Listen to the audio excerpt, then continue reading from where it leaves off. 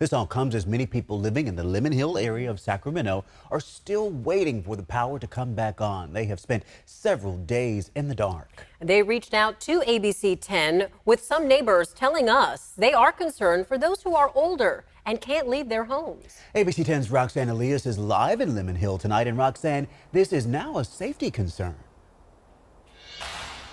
Chris and Laura, it is right now. Residents feel as if there is no end in sight. With down power lines still right here behind me, they feel that with the strong rain and winds that are to come, they feel things are only going to get worse. One resident who lives nearby says the longest she's ever gone without power was about 45 minutes, but this time around, it's been about a few days now. We've been here about five years and nothing like this. This is a lot. This is a lot. For the past three days, Terry Pulling has spent her time dealing with no power in her home off Lemon Hill Avenue. The refrigerator, everything in the fridge is gone, bad. Um, Got to clean that out, and it's completely dark. I mean, and we don't light that many candles, but it's just completely dark and it's cold. Cold because there's no heat. And that's kind of scary. So I haven't really been able to sleep very well. On top of no electricity, she's scared the water surrounding her home will soon get inside. So, for four hours a day, she's been digging trenches on her property by herself. Just up the road off Lemon Hill Avenue, another neighbor is also worried about losing his power again. You know, waking up and the, the loud noise and uh, not knowing what was going on, then looked outside. Uh, uh, everything was down lights.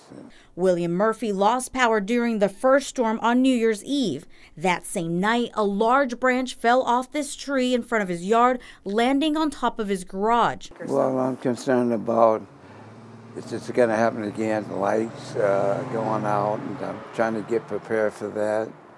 You know, get candles, more candles. Earlier Tuesday afternoon, we spotted SMUD crews working on Lemon Hill Avenue where a power pole blocked the road. Neighbors tell us the people who live there haven't been able to leave.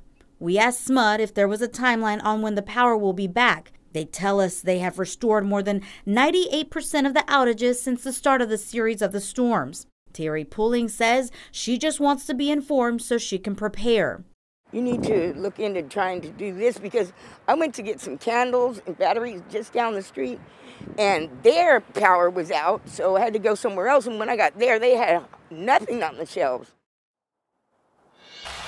Now, we were out here around 11 o'clock this morning, and as you can see behind me, SMUD crews are still working on these down power lines.